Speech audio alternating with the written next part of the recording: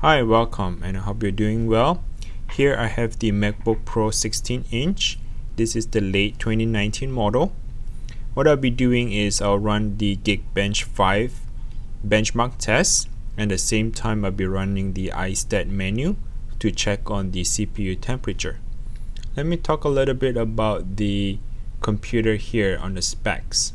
So as you can see, uh, it says MacBook Pro 16 inch late 2019 is running on the Mac OS 11.2.1 which is the Big Sur. Also the processor I'm be running Intel i9 9880.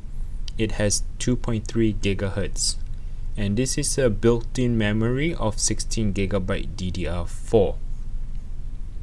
On the right side here as you can see the storage is running on the SSD drive and it has 1 terabyte on it and it's running on a PCIe Express. If you go up on the power, uh, this is pretty new computer. It has about 6 cycles on the battery. Now let's take a look at the graphics card. It runs on the AMD Radeon Pro, Pro 5500 M4 Mobile. And it also has the built-in Intel graphics card 630. Alright, so let's go ahead and run the benchmark test. I'll click run here.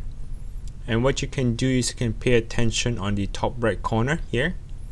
This is the CPU performance. You can see the CPU what is being used right now at this point is running on Geek Benchmark 5 uh, Geekbench 5 there's no mark on it sorry and um, you can see that it runs on an 8 core processor. So there's an 8 core running on this Intel i9 uh, let's see. So right now it's about running at 49 degrees Celsius. This is not a Fahrenheit. This is Celsius. And it's about 53 it is still running. So sometimes you can see that the uh, CPU um, it has the, all the blue lines on it meaning that the 8 processor are running on a um, 100% but so far it's running at about there you go it goes on to about 98% right now. So you can see that spikes suddenly there's a big huge spike going on that means it's running and stressing out the uh, CPU you can actually see that the, the bars are moving up and down alright as the bar goes up meaning that the CPU is working really um, hard at the same time the temperature will go hot. So when the CPU runs working hard the temperature will, will go hot on this one. Alright so right now it's still running the test.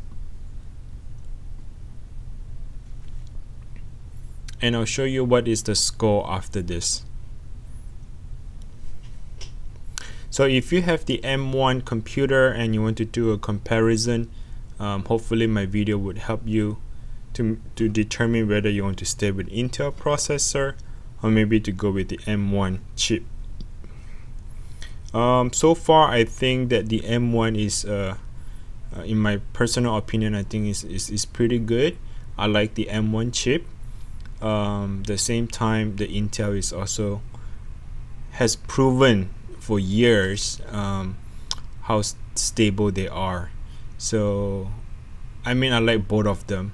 But at this point since this is the late um, 2019 is is one of the last Intel CPU chip. So I think it's good to to have this computer and for the sake of you know saying goodbye to Intel later on. Alright, so here's the benchmark 5 score, a single core run on 1183. Um, the multi-core goes on 6779. Alright, as you can see right now, today is May 28, 2021. The finished test at about 3.49 p.m.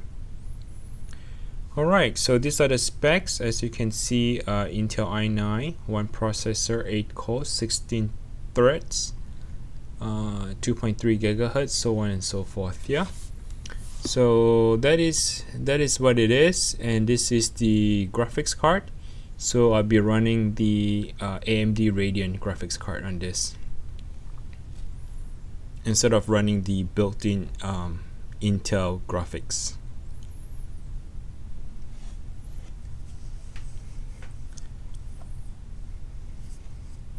I do have a different video um, that runs on the iMac. Uh, the latest one I think was 2020 uh, it runs on the M1 chip.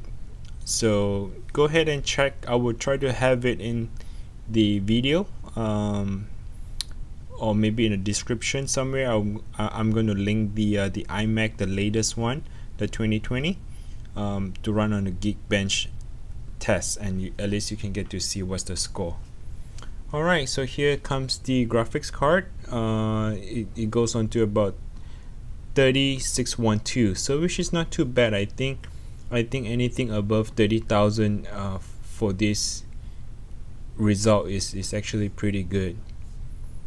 Alright so uh, this is it. And if you like the video please click the like button and if you feel like you want to subscribe or have any questions please comment below. I will definitely answer those questions in the near future. Alright take care and I'll talk to you later. Bye bye